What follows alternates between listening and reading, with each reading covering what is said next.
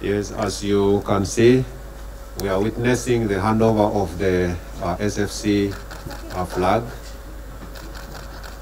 It has been handed or passed over to the incoming commander.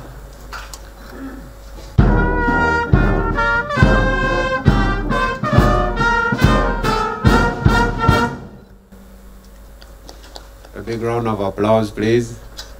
Asante sana.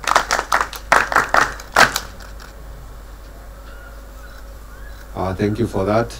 The next item, Commander's seal being handed over.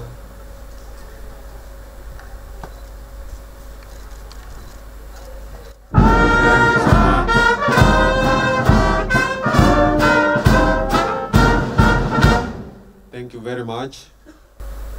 the nation for giving me this opportunity serve as the Commander Special Forces Command, and I can only pledge total loyalty to him, Commander in Chief, Army leadership, the institution, the country at large.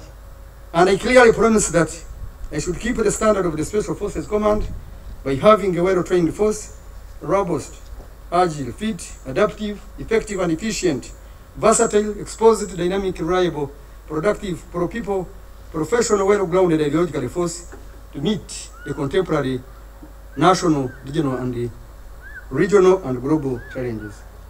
Sir, allow me this point, this point in time to take this grand opportunity to appreciate you, sir, of the CDF.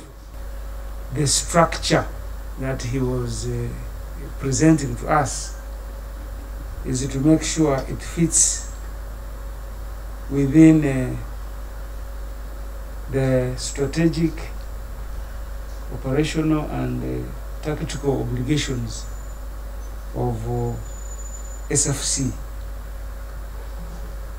Because, as you know, you must therefore continue pick from where he has uh, left to continue building capacity and uh, the capability of this uh, elite elite uh, um, outfit of SFC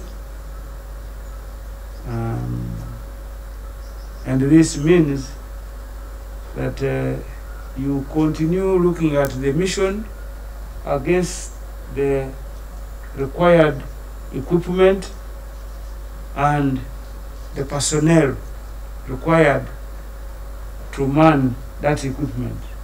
Because uh, they say the man the machine is the man behind it.